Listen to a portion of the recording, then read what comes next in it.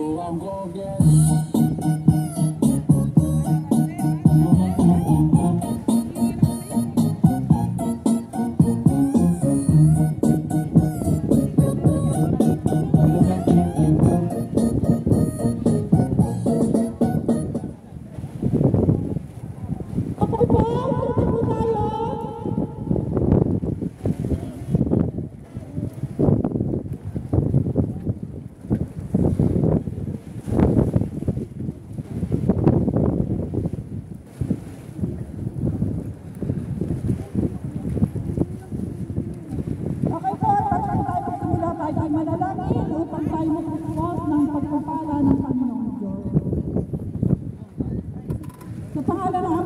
Anak, Espiritu Santo. Amen.